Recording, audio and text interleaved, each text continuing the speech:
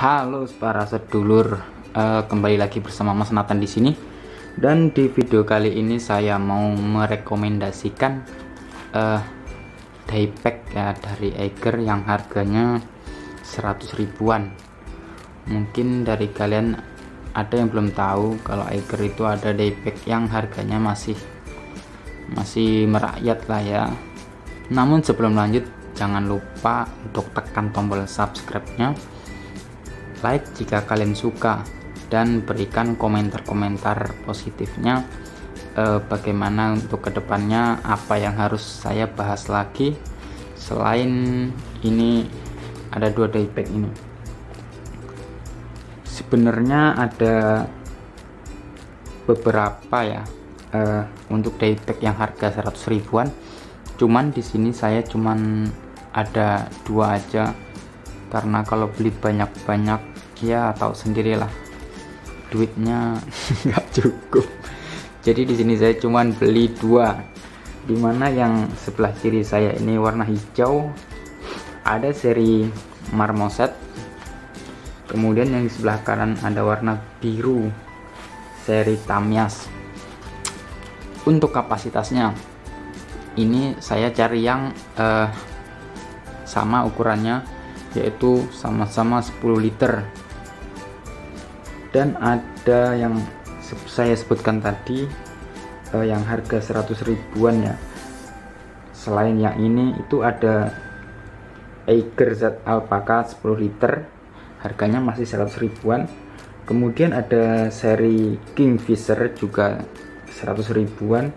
Kapasitasnya saya ambil yang 10 literan ya.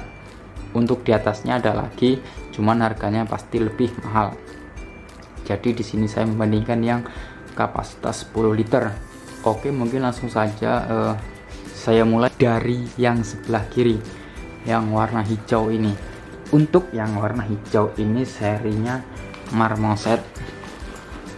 Ini ya ada tulisan marmoset di sini. Dan 10 artinya kapasitasnya 10 liter. Backpack berkapasitas kecil ini cocok ya digunakan uh, untuk kegiatan sehari-hari. Bisa buat bawa ya peralatan-peralatan kecil masih muat lah. Kompartemen utama tas ini bisa untuk muat buku masih muat. Kemudian ya barang bawaan lah harian. Untuk bawa baju satu atau dua masih cukup e, karena kapasitasnya 10 liter dan dimensinya itu 22 cm kali 14 kali 39 cm lalu ini menggunakan bahan polyester. Ini bisa kelihatan bahan polyester kayak ada kotak-kotak ini garis-garis dengan logo Eiger di bagian ini depan apa belakang ini? Pokoknya di sini ya ada logonya dan tulisannya. Lalu di sini ada serinya Marmoset 10 untuk beratnya ini berapa ya? Ringan ini pokoknya. Jadi nggak terlalu berat lah sesuai dengan harganya. Oh ya harganya ya. Saya lupa nyebutin. Untuk harga ini harganya 99.000 tuh kan nggak nyampe 100.000 100.000 masih ada kembalian 1000 ya lumayan 100 ribuan dapat daypack Eiger ya. Kapasitas 10 liter. Nah bagian depan ini apa namanya gendongannya?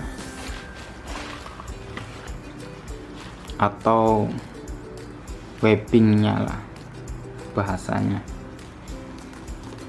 Ini lumayan kuat kalau untuk kapasitas 10 liter karena nggak juga buat bawa berat-berat amat. Ini talinya ya. Panjang. Lalu di bagian atas ini ada cantelan. Nih nah ini buat nyantol.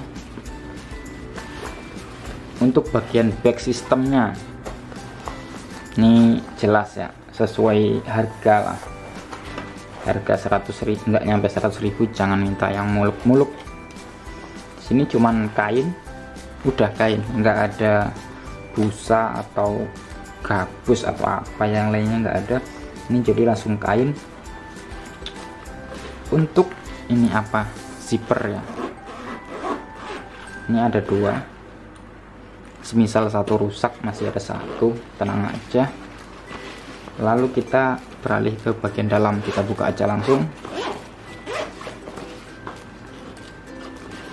Ini bagian dalamnya. Lalu di sini ada seperti biasa lah ya. Made in Indonesia buatan Indonesia. Material nilon. Ada juga yang ini polyester ya. Tapi di sini tertulis nilon untuk bagian utamanya nih nggak ada cekat-cekat lagi. Jadi langsung bagian utama. Jadi nggak dibagi-bagi lagi. Kelihatan? Ini saya buka aja biar kelihatan dalamnya. Ini seperti ini dalamnya. Udah ya cukup lah kalau untuk sekedar bawa buku. Bisa juga masih muat. Untuk bawa pakaian juga masih muat kalau pandai packingnya bisa muat ya lumayan lah. Ini bagian bandrolnya. Aduh nah seperti ini. Mungkin itu aja untuk seri yang marmoset. Kita pindah ke yang sebelahnya. Di sini ada Tamias ini kelihatan. Nah sebelah kanan ini seri Tamias untuk kapasitasnya sama 10 liter juga. Ini kelihatan 10 liter ya 10 bahan. Untuk bahannya ini menurut di keterangan tadi terbuat dari nilon. Cuman di sini bahannya tuh kalau kalian tahu bahan rain cover ya nah seperti itu dia.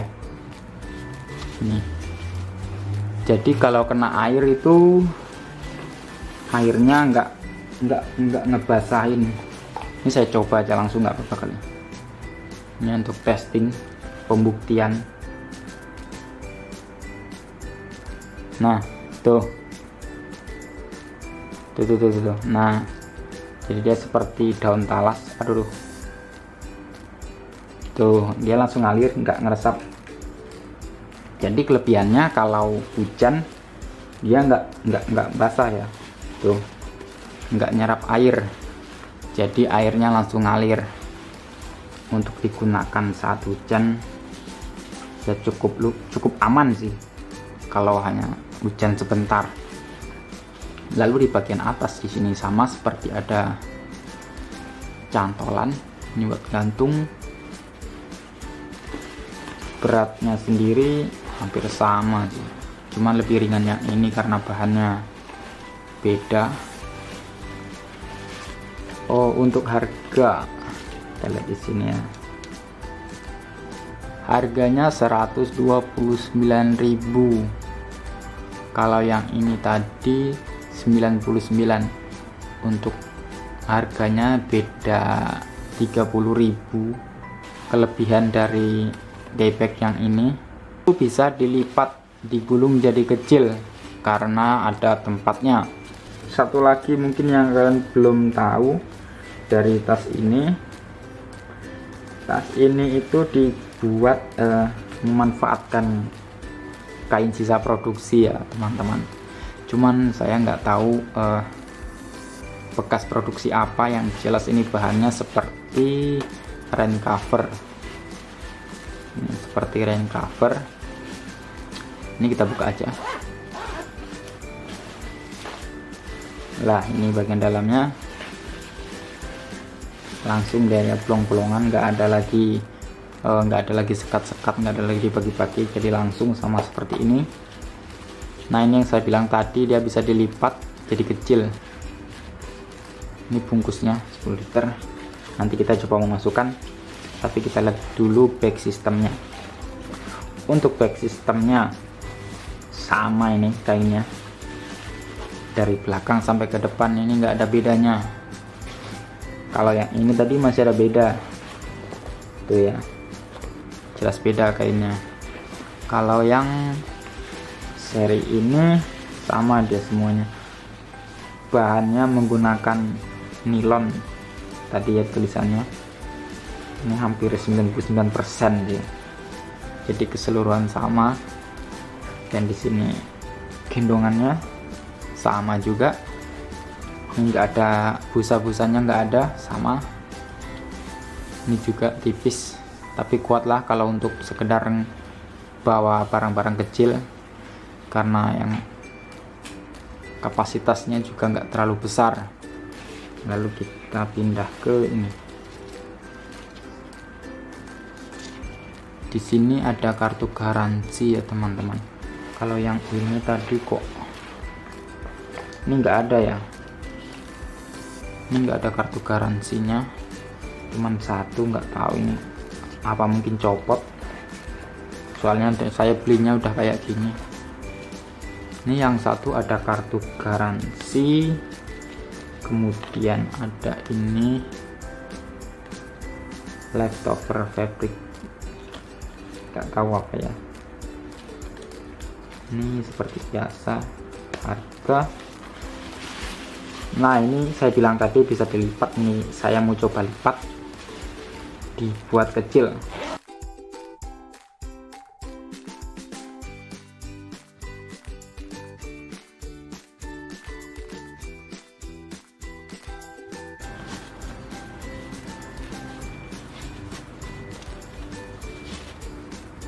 nah begini uh, hasilnya penampakannya. Setelah dilipat ya jadi kecil seperti ini. Bisa kalian lihat. Jadi kalau untuk dibawa dimasukin tas lagi juga bisa. Buat cadangan. Nih simple. Jadi seperti hemuk dia bungkusannya kalau yang ini tadi nggak bisa ya soalnya nggak ada ininya. Nggak ada tempatnya. Eh, kesimpulan ya teman-teman. Untuk harga 100 ribuan ini ya lumayan worth it lah. Sesuai sesuai kebutuhan. Kalau mau yang lebih mahal lagi juga ada yang harga 200an 300an 400an ya sesuai dengan sesuaikan dengan kebutuhan dan budget kalian kalau memang budgetnya cuma 100 ribuan ini udah cukup kalau sekedar untuk sehari-hari. Dan masih ada seri yang lainnya yang saya sebutkan tadi uh, seri Kingfisher Alpa Alpaca kata tadi itu dan ada juga yang lainnya lagi. Seri Marmoset yang 10 liter ini kan harganya 99.000 dia ada yang kapasitas 16 liter juga tapi harganya pasti lebih mahal. Ya kisaran 169.000 untuk yang kapasitas 16 liter. Serinya sama marmoset cuman ini 10 liter. Mungkin uh, sekian lah sedikit review dari saya.